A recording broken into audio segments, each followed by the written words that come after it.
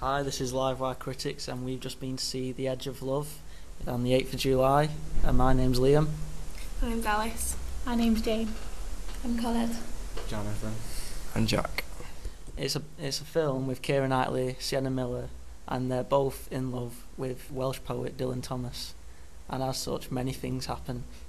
It involves a lot of crying, and that's about it. if you've seen Atonement, you've seen The Edge of Love, except it's more boring.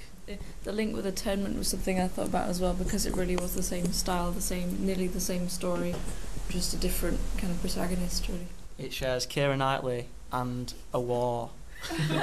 Except the war scenes aren't very interesting and they're really short and he comes back all shell shocked and so we don't really sympathise with him that much because we didn't see much war. I was hoping he was going to get shot like in the plane. that would have made it a lot better for me. But I didn't really like the story itself, but you can't really criticise it because it actually happened. Dylan is married to girl number one, but girl number two still loves Dylan. But in an attempt to try and dissuade herself from it, she marries a guy who gets sent off to war. He comes back and it's all a bit emotional. Babies crying everywhere all the time. this is pretty much another good night and good luck. What we've got is great cinematography, we've got great performances on the whole, we've got great direction, but there isn't any substance to the film to make you enjoy it or engage with the characters, and so you leave the cinema feeling ripped off, even though I didn't pay for this film. I think the fact that I can't really think of anything to say kind of says it all. I just kind of left thinking not much really. And at the time of watching it, it, it did like bring out an emotion, but after there's just not really much.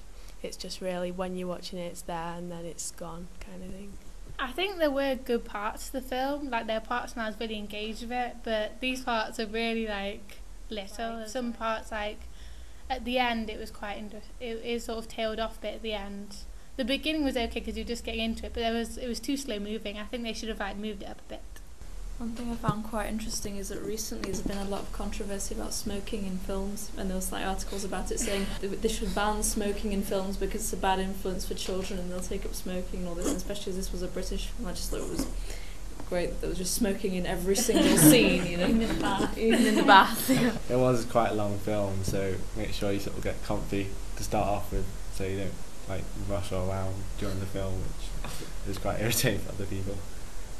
Maybe you might want to start off uncomfortable and you might want to leave. It's all pretty and everything's done nice, but to no avail really. I think I'd never watch it again with intent. It, it was on like Channel 5 at 1 in the morning. If it was like Jean Claude Van Damme, then maybe. But I just wouldn't wouldn't watch it. Well, this is one of the problems with British films as a whole, and what we get is a lot of very samey kitchen sink dramas, which we're all good at, we're all good at kitchen sink dramas and we all get to see them well everyone's crying and families come together. But if you really want to see a better British film you can't really find it here. Um, Atonement was good. See Atonement instead. There were some terrible Welsh accents as well? And the only one who didn't have a Welsh accent was Dylan Thomas. Well I think you might be able to work out what we thought of the film from this podcast